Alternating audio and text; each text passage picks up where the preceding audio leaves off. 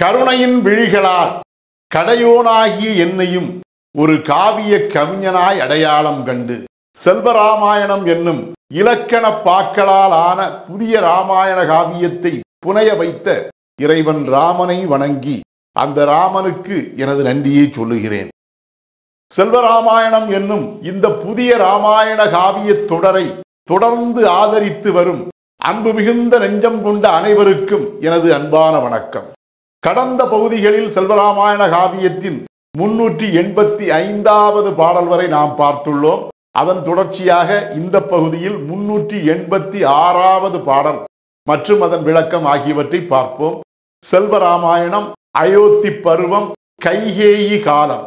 தன்னுடைய அன்புமிக்க மனைவி என்றும் அன்பினால் ராமனை தாங்கிய தாய் என்றும் தனது மக்கள் மற்றும் குடிகள் மேல் மிகவும் அன்பு கொண்ட தாய் என்றும் எண்ண விடாமல் கனவு போன்று வந்த நிகழ்வு தன்னை தடுக்கிறதே என்று தயரதன் வேதனைப்படுதல்.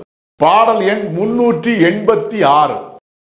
எனதன்பு மனைவி இவள் என்பதனை நம்பிடவும் தனதன்பால் ராமனையே தாங்கியவள் என்றிடவும் மனமெல்லாம் அன்பு வைத்த மாதாவாய் கண்டிடவும் கனவென்னும் இந்நிகழ்வே கனிவின்றி கொன்றிடுதே. இதுவே அந்த முன்னூற்றி எண்பத்தி ஆறாவது பாடல். இந்த பாடலுக்கான விளக்கத்தை காண்போம்.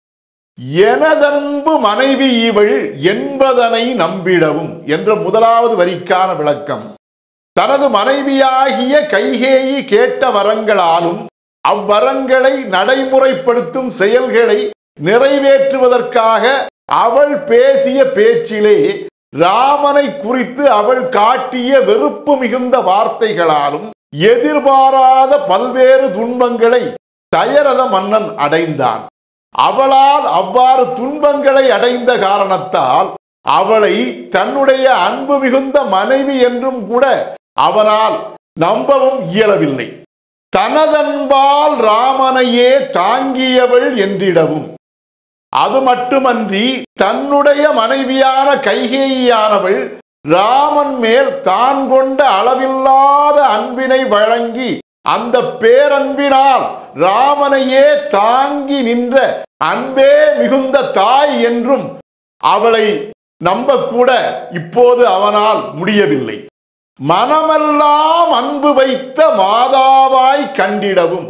அது மட்டுமன்றி தான் கொண்ட அன்புமிக்க உள்ளத்தினால் தனது மக்களாகிய ராமன் முதலான நால்வரிடத்திலும் மட்டுமன்றி குடிமக்கள் அனைவரிடத்திலும் கூட அன்பினை காட்டி வந்த தாய் அவள் என்றும் தயரதனால் இப்போது நம்ப முடியவில்லை.